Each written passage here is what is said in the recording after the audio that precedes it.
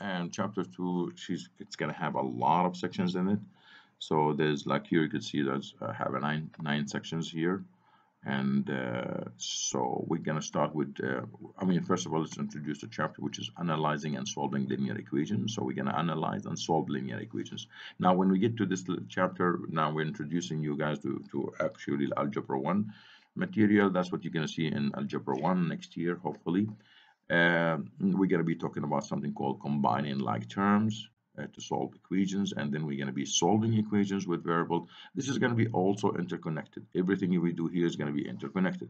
So solving multi multi-step equations uh, equations with no no solution or infinitely many solutions this is all algebra 1 material so you guys this is going to help you out. So we need to concentrate on this chapter. This is an important chapter by the way so uh, we'll take it with us. We're going to take it with us to to next year. So make sure that you know we need to work hard on this one. Okay? And then we're going to be the so now but for for this week we're not going to do all that definitely. We're going to do uh, part of it. So we're going to start with for example the section one here uh, which is a combining like term so we need to do this is an easy one. This is probably you guys going to have an easy uh, way of handling. So you know you can see there's an x here and there's an x here. You could see that those two x's are similar to each other so that's what we call like terms. So that means if I have an x to the power of 1 and x to the power of 1 those are like terms. So now we take the numbers in front of them and we add them together. So now we ignore the x's. We just say 1 and 1 over 3 plus 1 over 6 and we just add them up. After we add them up we put them in front of one of the x's and that's how we combine the, the like terms. So instead of having two x's you know separate now we're combining them together. So that's the whole idea behind combining like terms. The word combine that's what it means okay? So that's what we're going to be doing uh, this week.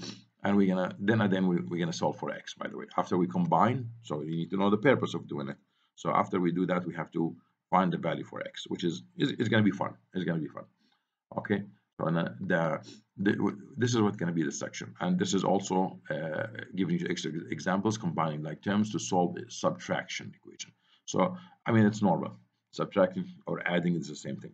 So now look at this one. This was a, a p to the power of 1 a p to the power of 1 so look at the power. There's nothing. There's nothing that means by default it's 1 so but we can say that for sure that this p is actually same as this p.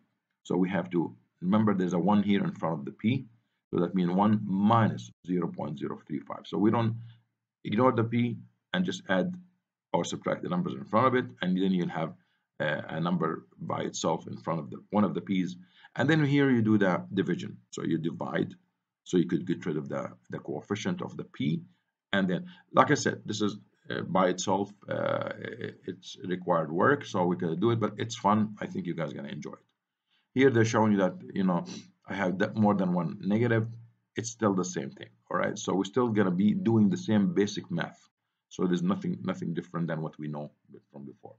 So if we have extra chance, we'll, we'll continue with with the uh, one 2.2, and 2.2 will be the same thing. So solving equations, the same idea, and uh, this time we're gonna have more than one x uh, not now but later on we'll have an x on one side the x on the other side. Later on other examples will be probably on the same side and you have more than one x but it's still the same thing. You're, you're combining like terms. If i have five seven ten x's doesn't make a difference because i know i could add them up to to to, to equal one x. So we'll, we'll see that how we're going to do this in class all right? Like i said everything is done in class everything is done in class.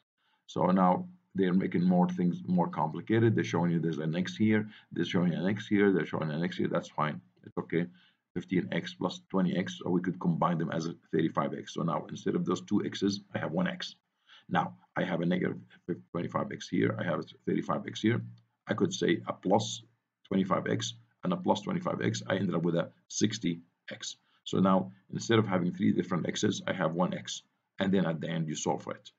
Uh, I think this will be new for you and will be more fun for you.